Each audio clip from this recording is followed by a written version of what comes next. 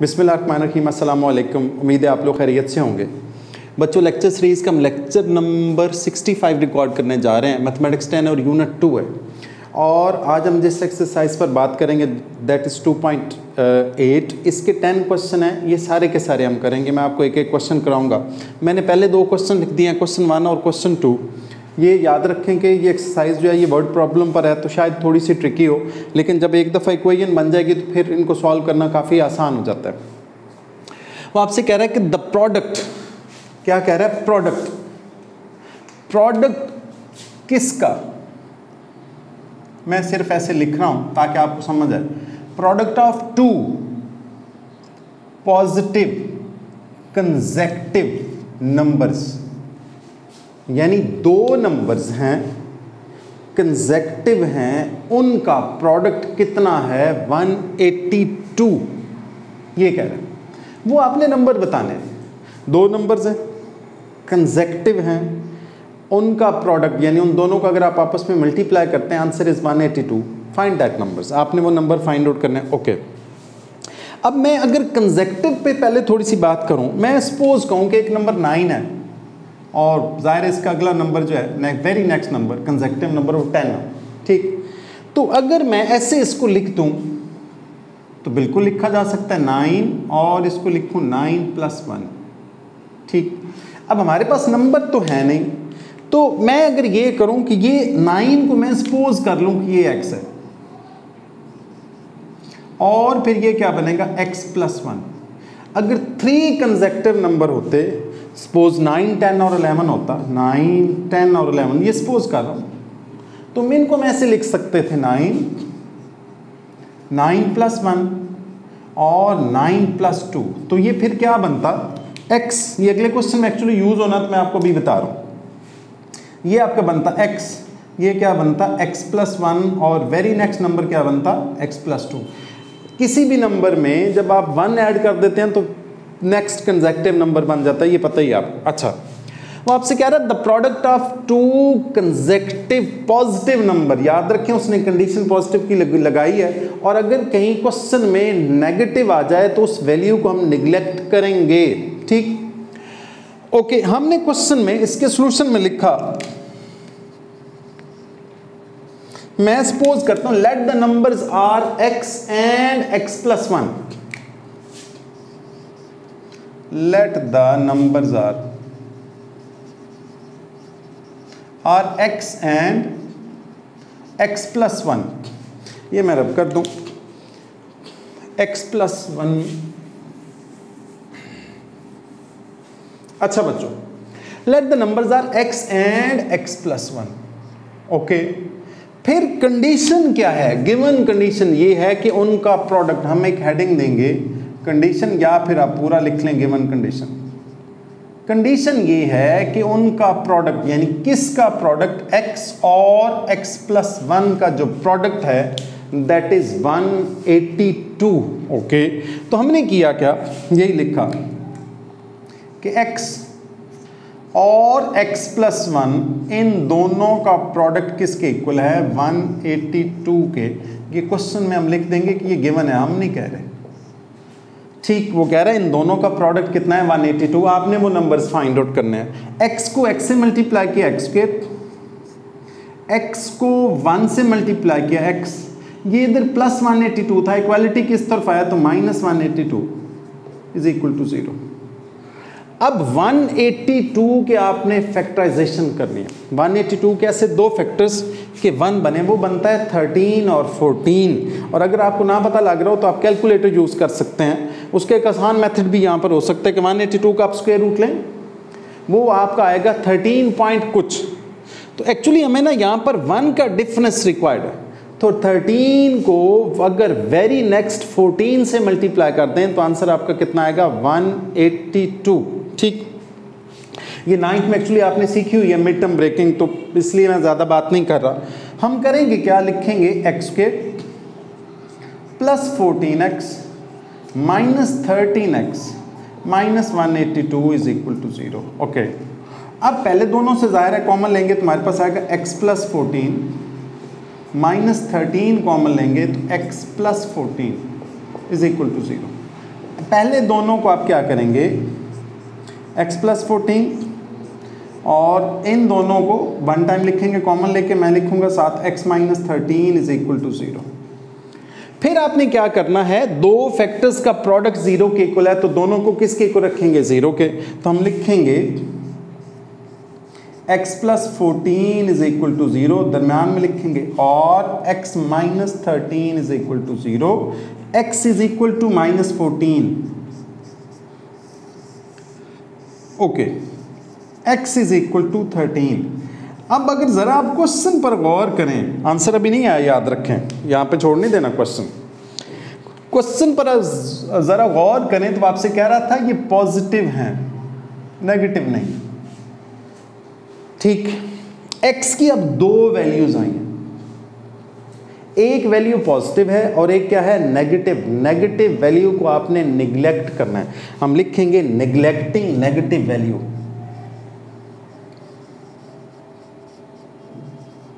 neglecting negative value इसको neglect कर देंगे तो x कितना आ जाएगा?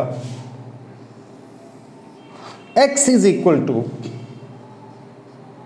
thirteen अभी भी क्वेश्चन कंप्लीट नहीं हुआ। कह रहा था दो नंबर्स एक नंबर हमारे पास x, दूसरा है x plus one so first number x हम लिखेंगे। First number is equal to x which is equal to thirteen okay और सेकेंड नंबर है that is x plus one तो हमारे पास कितना आएगा? थर्टीन प्लस वन कितना बनेगा? फोर्टीन तो हमारे पास दोनों नंबर आ चुके हैं। थर्टीन और कौन सा है? फोर्टीन अगर आप चाहें इन दोनों को मल्टीप्लाई करें तो आप चेक कर सकते हैं। आंसर कितना आएगा? 182 ये दोनों पॉजिटिव नंबर हैं। ओके अब अगला क्वेश्चन देखें। वो कह रहा है the numbers of the squares the numbers of the square of the three positive conjunct the product number नहीं होगा, यहाँ प्रोडक्ट होगा। The sum of the squares sum लिखा हुआ है। Sum of the squares A यहाँ पर सम है बच्चों। द सम पिछले क्वेश्चन में उसने बात की थी प्रोडक्ट की। यहाँ पर वो आपसे कह रहा है सम ओके okay? मतलब हमने जो भी आगे कुछ कहेगा, उसको ऐड करना होगा। ये मैंने मल्टीप्लाई का साइन इसलिए डाल दिया कि आपको पता लगे। जैसे हमने ये दोनों नंबर्स का प्रोडक्ट लिया था, ठीक? सिमिलरली वो कह रहा है sum of the squares of the three consecutive तीन नंबर हैं और कंजेक्टिव हैं, उनका जो सम है वो कितना है? 77 है। फाइंड देम आपने क्या करना है उनको फाइंड करना है तो हम कर लेते हैं। हम पहले मैंने आपसे यहाँ पर बताया था कि कंजेक्टिव नंबर है एक एक्स दूसरा एक्स प्लस वन और तीसरा क्या होगा? एक्स प्लस टू ओके तो हम करेंगे क्या? Let the numbers are solution लिखेंगे. Let the numbers are numbers are x x plus 1 and x plus 2 हमारे पास तीनों नंबर्स हैं. एक x एक x प्लस वन और दूसरा x प्लस टू अब कंडीशन क्या है? वो कह रहा है, इन तीनों नंबर के स्क्वेयर का सम खुद से सम नहीं करना इनको, सिर्फ़ सम नहीं करना सम करना है, लेकिन इनके स्क्वेयर का सम अगर आप इसको देखें, मैं रेड डे कर देता हूँ। आसान हो रही है बच्चों, मैं वीडियो पॉज करता हूँ, फिर आपको कराता हूँ।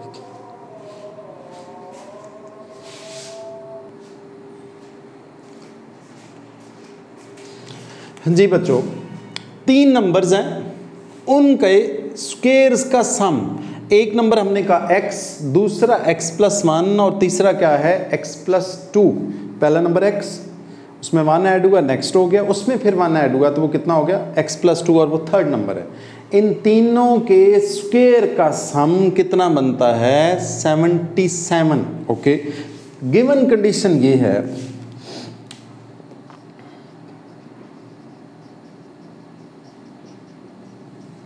क्या है गिवन कंडीशन वो आपसे कह रहा है कि इनके स्क्वेयर का सम पहले स्क्वेयर लें, उसको ऐड करें, फिर आंसर कितना बनता है? 77 आपने वो नंबर फाइंड आउट करने हैं। तो हम लिखेंगे x square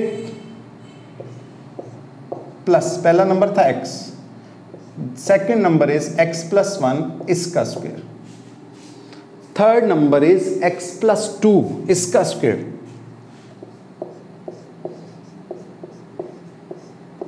is equal to seventy seven okay ये क्वेश्चन में कहा है, ये गिवन कंडीशन है। फिर आपने इसका स्क्वायर ओपन कर लिया, तुम्हारे पास आएगा x square plus x square plus two x I hope कि आपको स्क्वेयर ओपन करना आता होगा। X square plus two x plus one plus x square plus four x plus four is equal to seventy seven. Okay हमने इनको simplify कर लेते हैं। देखें ज़रा टिक कर रहा हूँ। X square plus x square plus x square ये आपका बनेगा थ्री एक्स स्क्र ओके मैंने लिखा three x square similarly two x plus four x ये two x plus four x कितना बनेगा? सिक्स एक्स ओके मैंने लिखा plus six x one plus four कितना बन जाएगा फाइव। ये सारी वैल्यूज़ इस साइड की सारी वैल्यूज़ मैं यूज़ कर चुका हूँ। सारी वैल्यूज़ सिंप्लीफाई हो गई हैं। प्लस फाइव वो जो प्लस सेवेंटी सेवन था वो इक्वालिटी के इस तरफ़ आएगा तो माइनस सेवेंटी सेवन हो जाएगा और उधर ज़ीरो रह जाएगा। ये हमने इसलिए किया ताकि ये जो हमारे पास क्वाड्रेटिक वेयन आ रही है, इसको हम सॉल्व कर सकें। तो minus seventy seven is equal to zero ये दोनों लाइक like टर्म्स हैं तो इनको आप सॉल्व करेंगे three x square plus six x ये दोनों कांस्टेंट थे।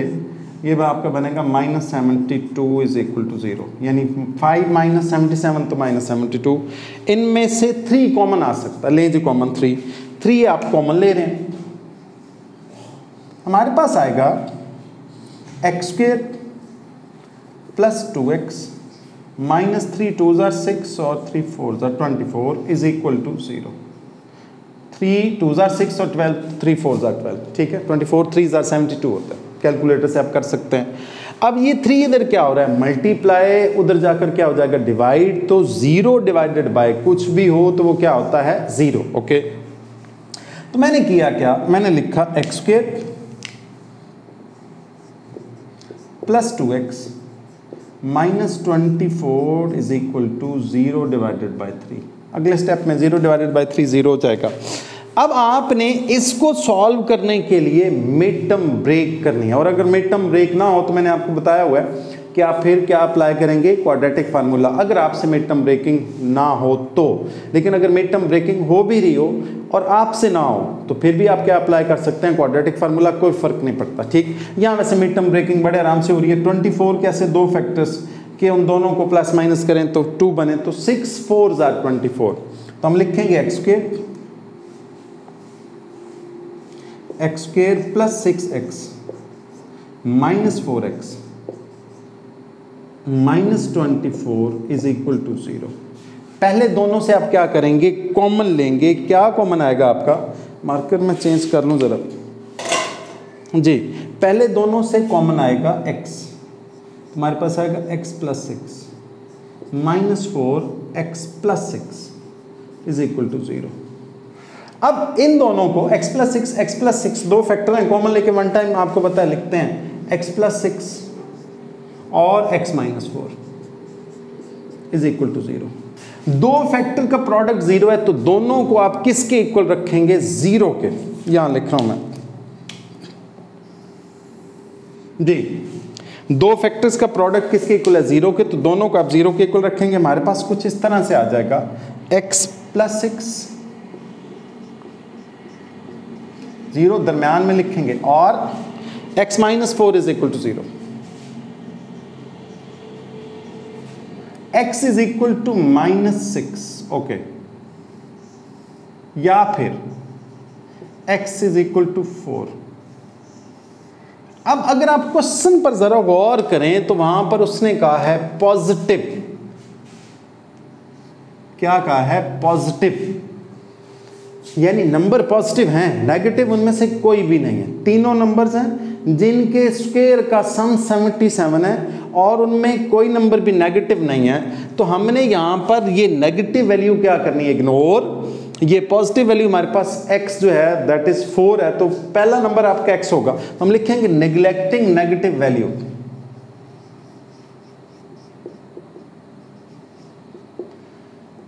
neglecting negative value जब आप इसको निग्लेक्ट कर देंगे, देर फोर एक्स जो है, वो आपका फोर आ जाएगा। अभी क्वेश्चन कंप्लीट नहीं हुआ। बच्चे समझते हैं, चूँकि क्वाड्रेटिक इक्वेशन थी सॉल्व होगी तो क्वेश्चन कंप्लीट हो ऐसी बात नहीं है।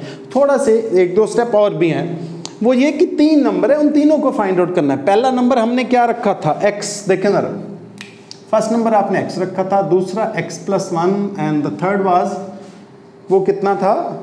एक्स प्लस टू तो फ़र्स्ट नंबर आपका आएगा। First number number is equal to that is x और एक्स आपका फोर है. Second number that is x plus one और वो आपका कितना है? फोर प्लस वन कितना बनेगा? Five third number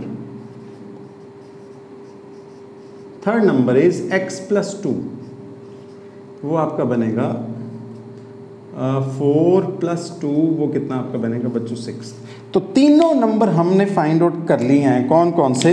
मैं इनको रेड से मार्क कर देता हूँ। ये देखें। एक फाइव है, एक फोर है और एक कितना है? सिक्स ये कंजेक्टिव है। फोर फाइव और सिक्स अब अगर आपने इनको चेक करना है कि हमारा क्वेश्चन ठीक है या नहीं तो फिर हम बड़े आराम से कर सकते हैं। आप, ये वैसे क्वेश्चन का पार्ट नहीं, मैं सिर्फ़ समझाने के लिए लिख रहा हूँ। आपको ताकि यकीन हो जाए कि हमारा क्वेश्चन ठीक है। या क्वेश्चन में अगर लिखना चाहें तो फ़र्क नहीं पड़ता, लेकिन उसकी रिक्वायरमेंट नहीं है, ठीक? अब फोर का स्क्वेयर फाइव का स्क्वेयर और सिक्स का स्क्वेयर और इन तीनों के स्क्वेयर का सम कितना होना चाहिए? सेवेंटी सेवन ओके तो आपने लिखा फोर का स्क्वेयर प्लस फाइव का स्क्वेयर प्लस सिक्स का square that must be seventy seven तो कितना बनता है? फोर का स्क्वेयर सिक्सटीन ट्वेंटी फाइव और सिक्स थर्टी सिक्स तो आप इनको अगर ऐड करेंगे तो कितना बनेगा? सेवेंटी सेवन यकीन सेवेंटी सेवन बनेगा। आपका ये वाला लेक्चर टू पॉइंट एट का लेक्चर नंबर सिक्सटी फाइव जो है, ये सिक्सटी फाइव नहीं है actually this is lecture number sixty six I think so तो ये बच्चों लेक्चर नंबर सिक्सटी सिक्स है। तो ये वाला लेक्चर जो हुआ, ये हुआ कंप्लीट बाकी आपको मैं इनशाला अगले लेक्चर में कराता हूँ। That would be the lecture number 67 Allah आपका हामी नासिर हो। अल्लाह हाफिज़।